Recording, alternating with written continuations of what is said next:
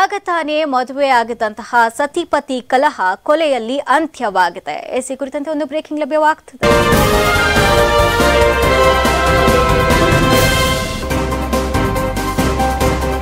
ವಧುವರನ ಕಿತಾಪತಿ ಸಾವಿನಲ್ಲಿ ಅಂತ್ಯವಾಗಿದೆ. ಕೋಲಾರ ಜಿಲ್ಲೆ ತೆಂಬರಸನಹಳ್ಳಿ ಗ್ರಾಮದಲ್ಲಿ ಘಟನೆ ಸಂಭವಿಸಿರುವಂಥದ್ದು. ಮದುವೆಯಾದ ಕೆಲವೇ ಗಂಟೆಗಳಲ್ಲಿ ಸತಿಪತಿ ನಡುವೆ ಕಲಹ ಉಂಟಾಗಿರುವಂಥದ್ದು ಲಿಖಿತಶ್ರೀ ಹಾಗೂ ನವೀನ್ ನೂತನ ದಂಪತಿಗಳು. ಏನು ರೂಮ್ನಲ್ಲೇ ಹೊಡೆದಾಡಿಕೊಂಡು ನವದಂಪತಿ ನವೀನ್ ಹಾಗೂ ಲಿಖಿತ ಇಬ್ಬರು ಕೂಡ ಆಸ್ಪತ್ರೆಗೆ ದಾಖಲಾಗಿದ್ರು. ಗಂಭೀರ ಗಾಯಗೊಂಡು ಇಬ್ಬರು ಕೆಜಿಎಫ್ ಆಸ್ಪತ್ರೆಗೆ ದಾಖಲಾಗಿದ್ರು.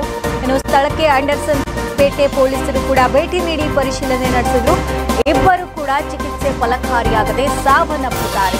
ಮದುವೆಯಾದ ಕೆಲವೇ ಗಂಟೆಗಳಲ್ಲಿ ಇಬ್ಬರ ನಡುವೆ ಗಲಾಟೆ ನಡೆದು ಇಬ್ಬರು ಕೂಡ ಗಂಭೀರ ಗಾಯಗೊಂಡು ಆಸ್ಪತ್ರೆಗೆ ದಾಖಲಾಗಿದ್ದು, ಆದರೆ ಚಿಕಿತ್ಸೆ ಫಲಕಾರಿಯಾಗದೆ ಇಬ್ಬರು ಸಾವನ್ನಪ್ಪಿರುವಂಥದ್ದು ನೂತನ ವಧು ವರರ ಕಿತಾಪತಿ ಸಾವಿನಲ್ಲಿ ಅಂತ್ಯವಾಗಿದೆ. ಇದು ಕೋಲಾರ ಜಿಲ್ಲೆ ತೆಂಬರಸನಹಳ್ಳಿ ಗ್ರಾಮದಲ್ಲಿ ನಡೆದಿರುವಂತಹ ಘಟನೆ. ಮದುವೆಯಾಗಿ ಕೆಲವೇ ಗಂಟೆಗಳೇ ಆಗಿತ್ತು. ಎಲ್ಲರೂ ಕೂಡ ಆಶೀರ್ವಾದ ಮಾಡಿದರು. ನೂರಾರು ವರ್ಷ ಬದುಕಿರಿ, ನೂರಾರು ವರ್ಷ ಚೆನ್ನಾಗಿರಿ ಅಂತ ಆಶೀರ್ವಾದ ಮಾಡಿದರು. ಆದರೆ ವಿಧಿ ಆಟವೇ ಬೇರೆ ಆಗಿತ್ತು. ಇನ್ನು ಮದುವೆನ ಮುಗಿಸಿಕೊಂಡು ರೂಮ್ಗೆ ಹೋಗಿದ್ದಂತಹ ವಧುವರರೇನಿದ್ದಾರೆ, ಗಲಾಟೆಯನ್ನ ಮಾಡಿಕೊಂಡು ಗಂಭೀರವಾಗಿ ಹಲ್ಲೆ ಮಾಡಿಕೊಂಡಿದ್ದಾರೆ. ಇಬ್ಬರು ಕೂಡ ಕೆಜಿಎಫ್ ಆಸ್ಪತ್ರೆಗೆ ಕೂಡ ಗಾಯಗೊಂಡು ದಾಖಲಾಗಿದ್ರು. ಆದರೆ ಮೊದಲು ವಧು ಸಾವನ್ನಪ್ಪಿರ್ತಾಳೆ. ಅದಾದ ನಂತರ ಚಿಕಿತ್ಸೆ ಕೂಡ ಫಲಕಾರಿಯಾಗಿದೆ. ವರ ಕೂಡ ಸಾವನ್ನಪ್ಪಿದ್ದಾನೆ.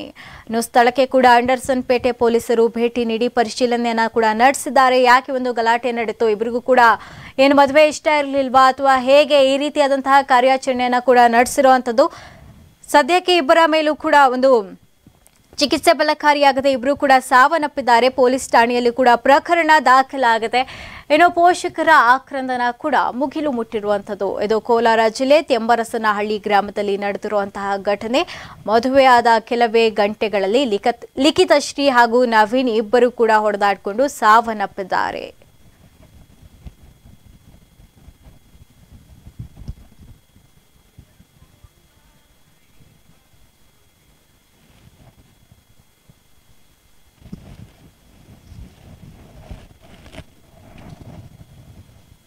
ಹಲೋ. ಎಸ್ ಈ ಕುರಿತಂತೆ ಹೆಚ್ಚಿನ ಡೀಟೇಲ್ಸ್ ಅನ್ನ ಕೊಡೋದಕ್ಕೆ ನಮ್ಮ ಪ್ರತಿನಿಧಿ ಹರ್ಷವರ್ಧನ್ ದೂರವಾಣಿ ಸಂಪರ್ಕದಲ್ಲಿದ್ದಾರೆ. ಎಸ್ ಹರ್ಷವರ್ಧನ್ ಇವರಿಬ್ರು ಕಿತ್ಲಾಡ್ಕೊಳೋದಕ್ಕೆ ಮೊದಲು ಕಾರಣ ಏನು? ಏನಕ್ಕೆ ಗಲಾಟಿ ಸ್ಟಾರ್ಟ್ ಆಯ್ತು ಅಂತ? ಸ್ಮಿತಾ ಏನಂತಂದ್ರೆ ನಿನ್ನೆ ನಡೆದಿರಂತದ್ದು ನಿನ್ನೆ ಬೆಳಿಗ್ಗೆ ನಡೆದಿರಂತದ್ದು ಮದುವೆ. ಸಾಯಂಕಾಲ ಅವರಿಬ್ಬರ ಅಂತ್ಯ ಆ, ಸಾವಿನ ಘಟನೆ ಅನ್ನೋದು ನಡೆದಿದೆ. ಏನಂತಂದ್ರೆ ಅವ್ರ ಫ್ಯಾಮಿಲಿ ಅವ್ರು ಹೇಳಂತ ಮಾತು ಏನಾಗಿದೆ ಅಂತಂದ್ರೆ ಕೋಲಾರ ಜಿಲ್ಲೆ ಶ್ರೀನಿವಾಸಪುರ ತಾಲೂಕಿನ ಕೋಲಾರ ಜಿಲ್ಲೆ ಶ್ರೀನಿವಾ ಕೆಜಿಎಫ್ ತಾಲೂಕಿನಲ್ಲಿ ಈ ಘಟನೆ ನಡೆದಿರೋಂಥದ್ದು. ಅವ್ರು ಏನಂತಂದ್ರೆ ಮದುವೆ ಆದ ನಂತರನೇ ಅವರು ಪ್ರೈವಸಿಗೋಸ್ಕರ ಅವ್ರನ್ನ ಒಂದು ಫ್ಯಾಮಿಲಿ ಅವರೆಲ್ಲ ಒಂದ್ ಕಡೆ ರೂಮ್ ಅಲ್ಲಿ ಅಥವಾ ಕಾಫಿ ಕುಡಿಯೋದಕ್ಕೆ ಅಂತ ಕಳ್ಸ್ಕೊಟ್ಟಿದ್ದಾರೆ. ಆ ಕಳ್ಸಿಕೊಡಂತ ಸಂದರ್ಭದಲ್ಲಿ ಆ ಘಟನೆ ಏನಂತ ಆಗಿದೆ, ಅವ್ರಿಬ್ರು ಮತ್ತೆ ಮಾತಿನ ಚಕಮಕಿ ಏನ್ ನಡೆದಿದೆಯಾ ಅನ್ನೋದು ಯಾರಿಗೂ ತಿಳಿದು ಬಂದಿಲ್ಲ.